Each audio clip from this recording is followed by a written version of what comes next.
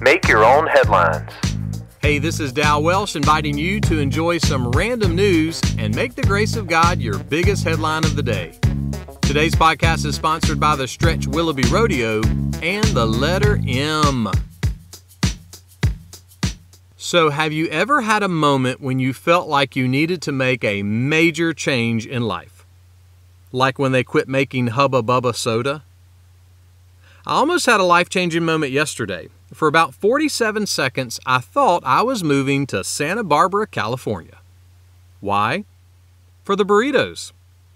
This weekend, Santa Barbara is having their first ever burrito week, and the headline I saw said 17 burritos for just $7. Arriba, arriba, andale, andale. Well, come to find out, 16 restaurants are offering 17 burritos for $7 each. So, not the deal I thought. But there is a silver lining. Anderson's Danish Bakery is part of Burrito Week, and they're offering what they call the sweetest little burrito. The tortilla is made out of chewy marzipan almond meringue and it's drizzled with icing. Then they take that tortilla and they stuff it with a fluffy layer of mocha cream and some shreds of kiwi and strawberries and chocolate chunks. Well, holy guacamole! That sounds like my kind of breakfast burrito. You know how you turn a regular burrito into a breakfast burrito? You just wake up with it still in your hand.